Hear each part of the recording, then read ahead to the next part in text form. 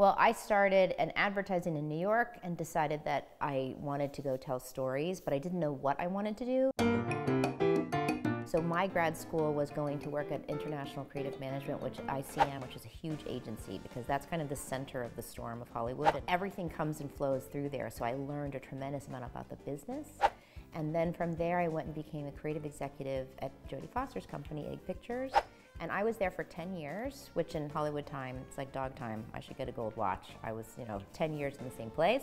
And I eventually moved my way up to run the company with Jodie.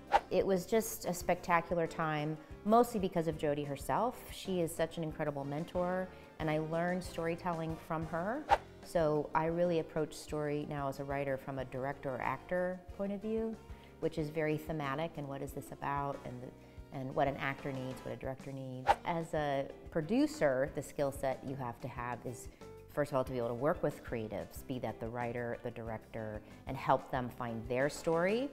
But at the same time, on the other side of you is the studio and the buyer and what their needs are to sell this, to distribute it. Um, you have to be able to package and find the actors and the directors to put on it.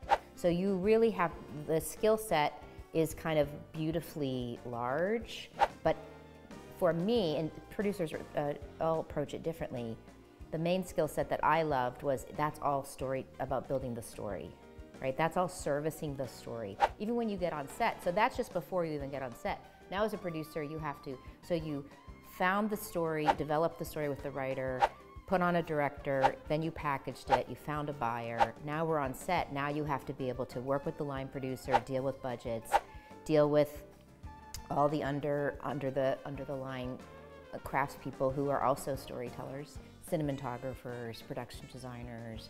Um, you're you're there holding the line on all of that stuff, and then when that's done, now you have to go deal with distributing it, the marketing, the poster. So I saw myself through that process as the kind of guardian of the story and those characters and the director and working with the director and it's their film, what do they need to get their story out into the world?